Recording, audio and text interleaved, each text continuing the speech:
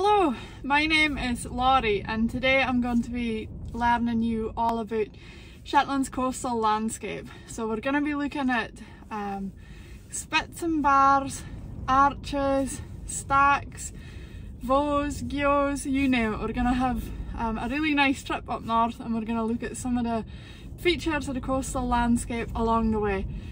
And um, so my name's Laurie, I said that at the start and my job is um, as a tour guide. So I take people around Shetland and tell them all about the history, the culture and the landscape and what they're seeing and try and help them understand how Shetland is the way it is today. So Shetland is a group of islands, we're made up of over 100 islands, 16 of them are inhabited, so 16 of them have got people living on them and um, over millions of years we have moved for a position that was just south of the equator. So we were in the tropics millions of years ago and we've moved north to where we sit today, which is at 60 degrees north. And we're um, about 200 miles away from Scotland, 200 miles away from Norway.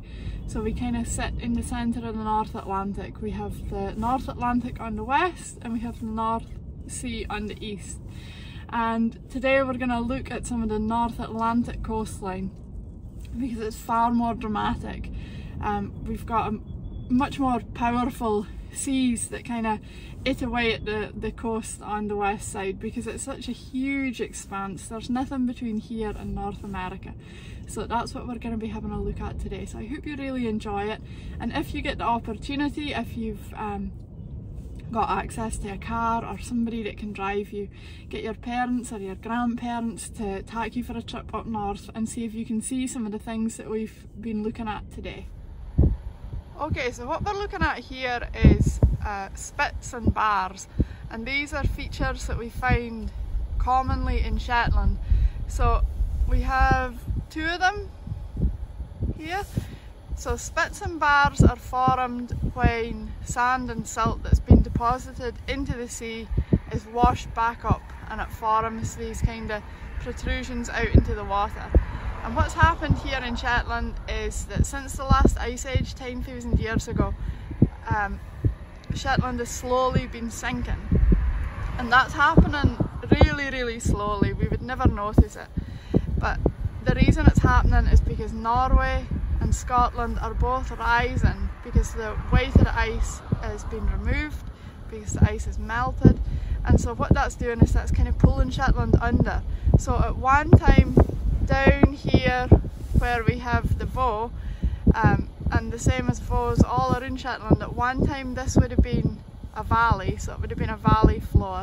But because we're slowly slowly sinking um, it's flooded so it's become a flooded valley which we call a voe. And there was a lot more silt and sediment in the water which washes up.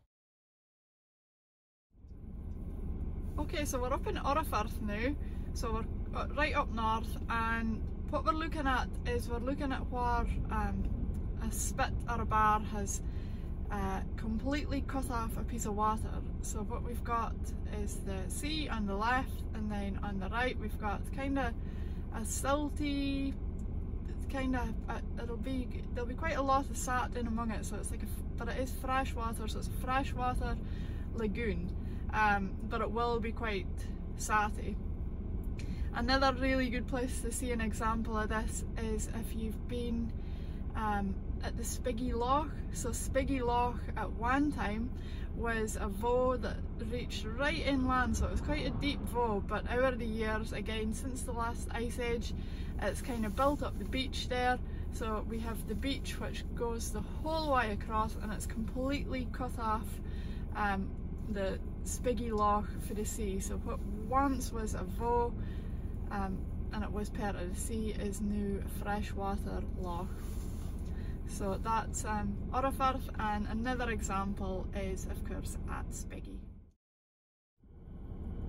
Okay, so what we're looking at here is what we call the drongs and they're basically just uh, a few sea stacks and the way that these have formed is, and the way that all sea stacks form is basically you have hard rock and you have a softer rock and over the years, millions of years, this process takes, Over millions of years the sea erodes or it eats away at the softer rock and what's left is the hard rock and that is the the sea stack that we see. So that's a harder piece of rock and all the soft rock around it has been eaten away by the sea over millions and millions of years.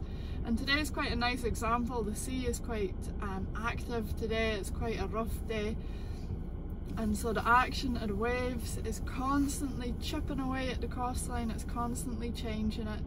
And that's why Shetland's coastline is ever changing. And it's why it's so dramatic. It's all the different types of rocks all the different types of geology the hard rocks the soft rocks all coming together and being constantly changed by the sea. So that's what we've got here with the drongs that we're looking at there on the horizon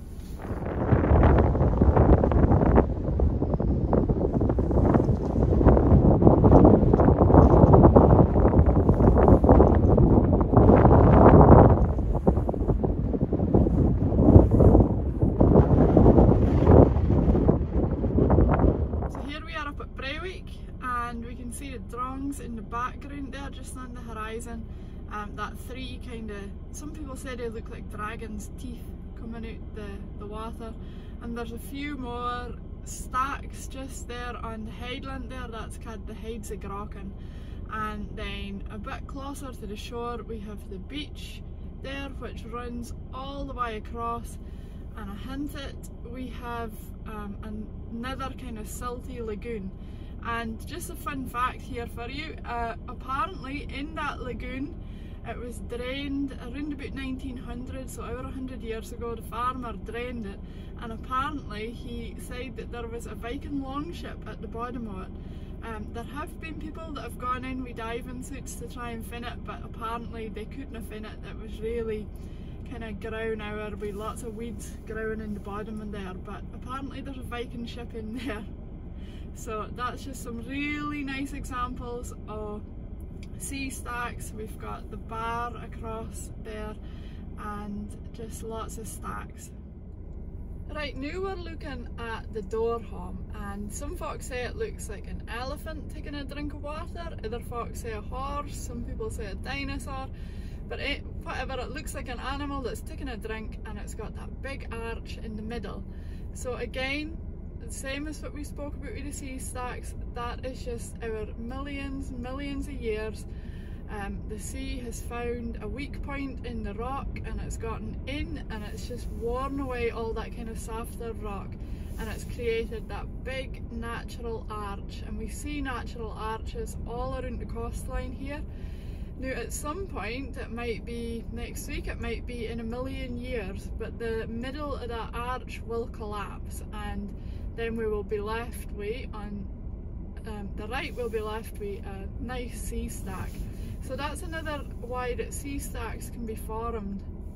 It's when that kind of central bit of the arch collapses then we'd be left with two sea stacks kind of similar to what we have with the drongs. So that's the Dore Holm Alright, so we're getting farther north and we're nearly at Eshaness and when we get to Eshaness we'll kind of find out that um, Eshaness was is, a section through a volcano.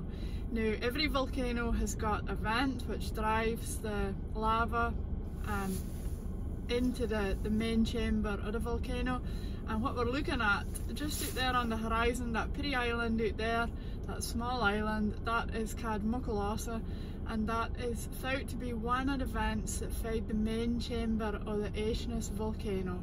So that is a volcano vent that we're looking at there and a, and a pretty sheep in the foreground. So we're going to go all the way up to Eshaness now and find out a pretty bit more about the coastal landscape there and the Eshaness volcano. Okay, we're up at Eshaness now, so what I'm going to do is I am going to get out the car and I'm going to take you to Calder's Geo and the reason that I'm doing the video here in the car is because you'll never hear me speaking because it's really really windy. So I'm going to show you Calder's Geo and Calder's Geo is really interesting because it's um, a kind of uh, like an inlet which is a geo and it's been formed by a sea cave which has collapsed and in Shetland we have so many sea caves and here in Calder's Geo we have the biggest sea cave in Britain.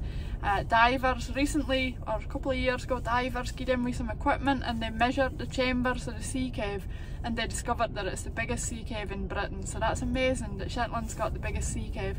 So Caldersgill was formed because um, it was a sea cave and again caves are formed the same way. The sea gets in it kind of exploits a weakness in the rock and after a while it becomes a cave. Um, but eventually the roof of the cave here at Caldersgill collapsed. And so that's why we have such a long narrow gill is because the roof of that one time cave has collapsed. In and if you keep going um, up here at Eshaness if you walk maybe don't know quarter of a mile you'll come to a place called the Halls of Scraada and the Halls of Scraada are again um, it's like two big halls right inland for the sea. And again that's just where the roof of the sea cave has collapsed. So come up to Eshaness, have a walk around, be really careful, don't go too close to the edge and just make sure you've got an adult. So this is the halls of Scraada which is now just one big hall because the remaining part of the roof collapsed sometime in the late 19th century.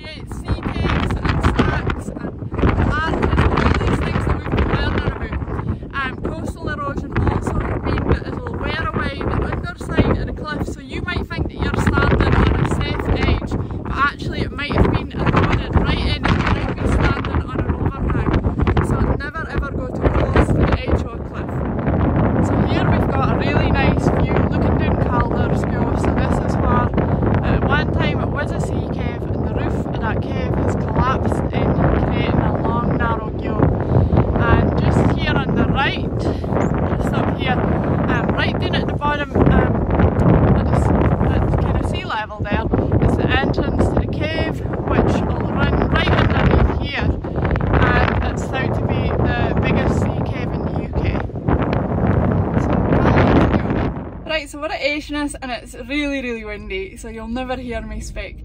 Um, so Eshaness is a, series of spectacular cliffs up here in Shetland and they were formed about 360 million years ago when Shetland lay down near the tropics and we were part of a kind of chain of volcanoes and Eshaness was a, a volcano. We've seen the vent already and so if you're up here at Eshaness and you have a look at the cliffs, you'll be able to see the different kind of lava flows within them. So all these different layers of like lava and um, volcanic rock are marking up the landscape here. So it's quite an unforgiving landscape but a very beautiful one and if you get a chance then do come up to Eshaness but really be careful near the edge, okay?